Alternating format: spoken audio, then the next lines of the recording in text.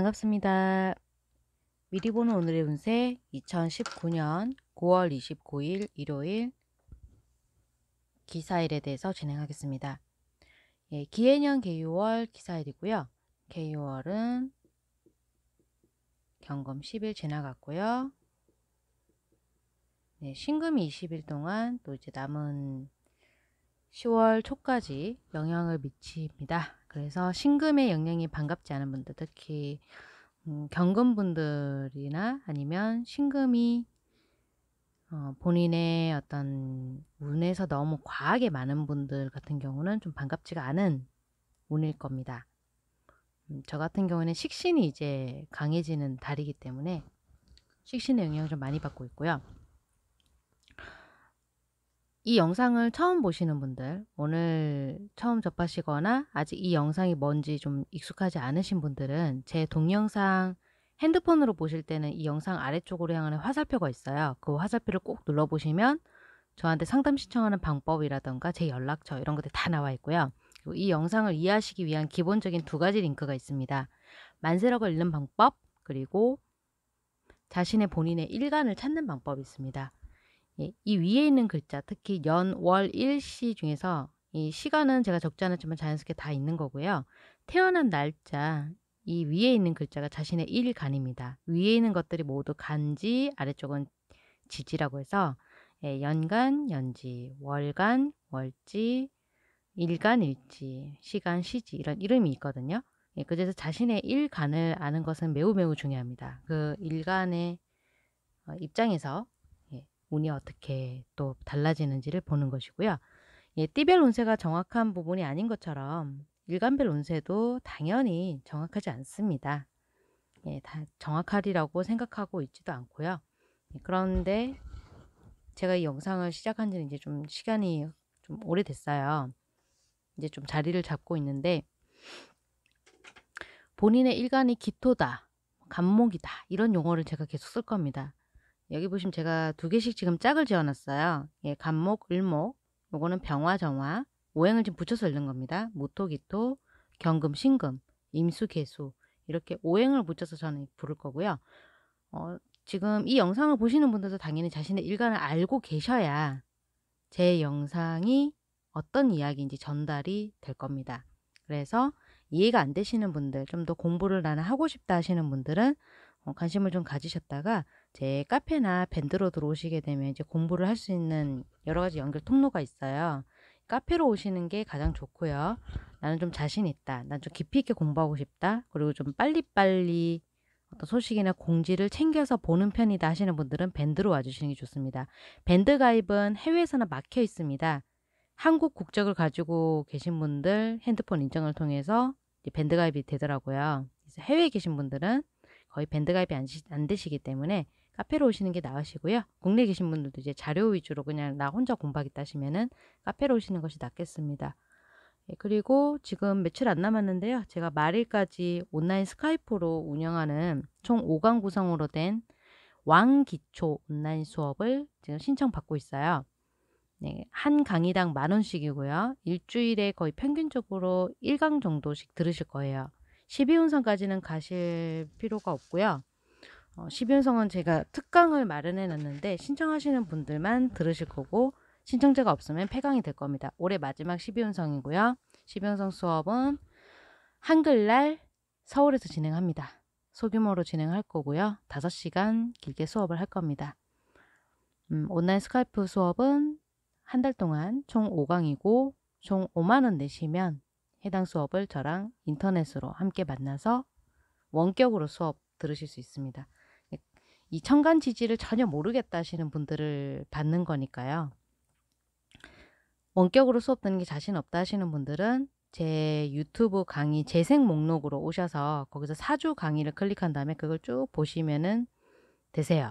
근데 그 강의가 버겁다 하시면은 온라인 수업을 듣는 편이 더 좋습니다. 예, 그 수업을 소화할 수 있는 분들은 굳이 들을 필요가 없습니다. 자, 여기까지 서론을 했고요. 이제 시작하겠습니다. 간목 일간 분들은 어떤 하루가 될까요? 네, 일요일입니다. 기사일이죠. 기토니까 정제가 들어왔고요. 예, 환경은 사화니까 병지에 앉은 날입니다. 예, 간목은 봄에 가장 왕성하고 여름에는 쇠락합니다. 병사묘에 놓이거든요. 그래서 병지입니다. 아버지나 부인 또는 시어머니 이런 주변 분들이 병원 방문을 하실 수 있는 날이고요. 이분들이 아파서 그럼 무슨 일이 나나요? 물어보실 수 있는데 꼭 그런 건 아니에요. 이분들이 다른 또 다른 가족을 혹은 다른 가까운 사람들을 간호를 하거나 돌봐주게 될 수 있는 하루가 된다는 의미입니다. 네, 일요일인데 본인이 바쁘다는 게 아니라 이 주변 사람들의 일들이 일어난다는 거니까 참고해 주셨으면 좋겠습니다. 을목 보겠습니다. 을목분들은 편제가 이게 편제죠. 편제가 목욕지에 앉은 날입니다. 오늘은 금전적으로 필요 없는 돈이 나갈 수가 있어요. 낭비가 심해진다는 거죠. 불필요한 쇼핑, 불필요한 소비 이런 것들을 하지 않도록 자제가 필요합니다.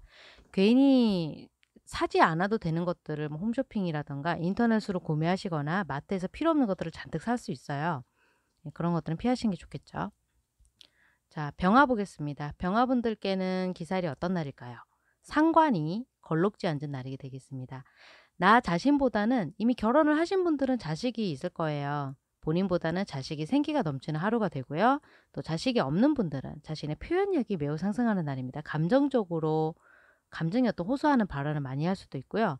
아니면 뭐 오늘 어디 다 가고 싶다 이런 의사 표현을 굉장히 많이 하실 수가 있어요. 무뚝뚝 하신 분들이라도 쇼핑을 하러 가신다거나 바람 쐬러 어디 뭐 바다 보러 가자 이렇게 얘기를 하실 수도 있고 직접 또 과감하게 아침부터 실행에 옮기시는 날도 있어요. 멀리 가시는 거죠. 굉장히 활기가 있는 날입니다. 그리고 정화분들 보겠습니다. 정화분들은 식신이 제왕지 앉은 날이고요. 오늘 쉬는 날이잖아요. 일요일이니까. 그런데도 불구하고 개인 시간이 거의 없어요. 정화분들 아, 정말 열심히 하시죠. 밀린 일, 밀린 학업 등으로 정신이 굉장히 없습니다. 주말을 반납하시고 굉장히 자신의 레벨업에 힘쓰시는 날이 되고요. 어쨌든 휴식이 필요한데 개인 시간이 너무 없으니까 또 지쳐서 힘드실까 봐 걱정이 됩니다. 적당한 휴식이 필수이기 때문에 1시간이나 2시간 정도라도 가볍게 예, 음악을 들으시거나 가까운 커피점에 가셔서 좀 쉬시는 것도 전 추천드리고 싶습니다. 어제 월요일부터는 또 전쟁이니까요. 자, 무토 보겠습니다. 무토 일간분들에게는 또 이제 어떤 하루가 되냐면 음량이 다른 게 들어왔죠. 겁재가 걸럭지 앉은 날입니다. 가까운 사람들이 굉장히 활기가 넘치고 집중력이 높은 하루를 목격하시게 될 거예요. 정작 본인은 이불과 한 몸이 됩니다. 이불과 혼연인체가 되실 거고요. 나는 가만히 있는데 가까운 사람들이 와서 음식도 해주고 설거지도 해주고 집안 청소까지 해주고 네, 그냥 본인은 가만히 계시면 돼요. 주변 사람들이 바쁘고 그만큼 일 처리를 잘 해주실 거예요. 자, 푹 쉬십시오. 기토 보겠습니다. 저도 기토입니다. 기토분들은 어떻습니까? 같은 글자가 올라왔죠? 비견이 제왕지 앉은 날이고요. 비견은 한솥밥 먹는 친한 사람들이라고 그랬어요. 가족이나 친구 이런 분들의 의견이 오늘따라 나랑 매칭이 안 됩니다.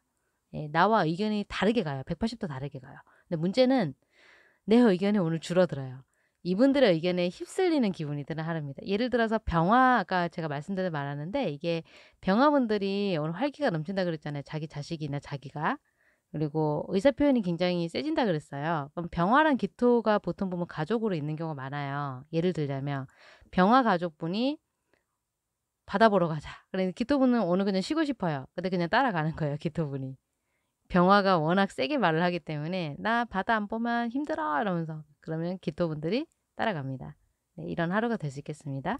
가족들의 일간 살펴보시면 되게 재밌어요. 자, 그럼 이제 금일간 볼까요? 경금 보겠습니다.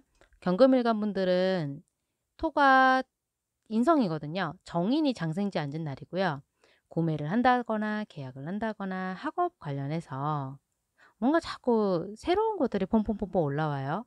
신경 써야 할 게 많아지고 또 계약 관련해서 내가 원래 알고 있었던 팩트 말고 다른 것들이 하나둘 막 나오는 거예요. 예를 들어서 계약서에 있던 연락처가 실제 연락처랑 다르더라. 아니면 어, 나는 원래 알고 있었던 계약 기간이 1년에서 뭐 2년 정도였는데 알고 보니까 묵시적인 연장이 되어서 이미 연장이 돼가지고 또 새로운 계약으로 넘어갔다더라. 이렇게 하나둘 뭔가 자꾸 내가 몰랐던 것들이 쏟아져가지고 예민해질 수 있는 하루가 되겠습니다. 예, 좀 진정하시는 게 좋고 경금분들은 요즘 좀 꼼꼼하지 못한 일들 때문에 일들이 빵빵 터지는 운이 들어와 있을 거예요. 그리고 자기 거를 어, 남한테 이렇게 담보처럼 맡겨놔가지고 내가 어떻게 할 수 없다든가 지연되는 일들이 좀 많이 생기거든요. 그래서 답답할 수 있는 하루 중에 하나입니다. 자, 신금 보겠습니다. 신금분들은 편인이 사지에 앉은 날인데요. 무슨 말이냐면 학업이나 어떤 일 준비하는 부분에 대해서 방해를 받거나 예, 정체되고 지연되는 일들이 생길 수가 있어요. 개인적으로는 집을 팔려고 혹은 가게를 팔려고 이런 매매건 등도 좀 지연되고 지체될 수가 있기 때문에 신경을 좀 쓰셔야 되는데요. 오늘은 특히나 하루운에서도 팔려고 내놨던 가게라든가 집이라든가 이런 매매건들이 가계약 같은 이런 그 가계약은 실제 계약까지는 아니지만 어쨌든 계약금이 들어온 건 부분이잖아요. 그런 가계약도 취소가 될 수 있기 때문에 음, 좀 힘들어질 수가 있습니다. 본인 멘탈에서 가계약이 취소가 될 수 있어요. 임수 보겠습니다. 임수분들은 정관이 절지에 앉은 날인데요. 절지라는 것은 끊어지고 방향을 튼다는 의미거든요. 특히 연인이 있는 분들은 이성과 강한 이별운이 들어오는 하루고요. 또 평일에 쉬시고 주말에 일하시는 분들도 많으실 거예요. 주말에 일하시는 분들은 이직운이 강하게 들어왔습니다. 새로운 직장으로 이동을 할 수 있는 운이 들어온 하루입니다. 이제 마지막입니다. 개수 볼까요? 개수분들은 편관이 태지에 앉은 날이고요. 태지는 그게 힘이 센 환경이 아니기 때문에 오늘 조금 신경 쓰셔야 될 거예요. 여자분들은 자식이나 남편이 무책임한 태도, 무책임한 말을 할 수 있기 때문에 상처를 받을 수가 있고요. 전체적으로는 본인이 벌여놨던 일들의 마무리를 짓지 못하고 이것저것 막 잔뜩 벌여놓기만 하고 일에 뒷감당이 안 돼서 힘겨운 하루가 될 수 있겠습니다. 예를 들어서 조카들을 데리고 오늘 일요일이라서 어, 가까운 공원이라던가 유원지에 놀러 갔어요. 근데 진짜 막 본인이 이것저것 이것저것 계획만 잔뜩 벌여놓고 저녁에 엉망진창이 돼서 조카들은 울고 엉엉엉 울고 집에 가고 싶어 이러고 즐겁지도 않고 식구들끼리 싸우고 이런 하루가 될 수 있기 때문에 음, 오늘은 좀 파김치가 될 수 있겠습니다. 일은 일대로 힘들고 예, 이렇게 전체적으로 일간을 또 진행을 해봤습니다. 네, 제 연락처를 모르시겠다고 하시는 분들이 계셔서 이 아래쪽 링크 눌러보시는 게 힘드신 분들에서 제가 오늘부터는 자막을 넣으려고 해요. 자막에다 제 연락처를 올려놓을 테니까 문자를 꼭 남겨주시면 제가 그쪽으로 관련 링크나 안내를 보내드리거나 아니면 통화를 원하시면 통화를 드리겠습니다. 제 상담 시간은 8시부터 저녁 9시까지입니다. 네, 주말 동안 고생 많으셨고요. 또 한 주 또 새로운 영상으로 뵙겠습니다. 감사합니다.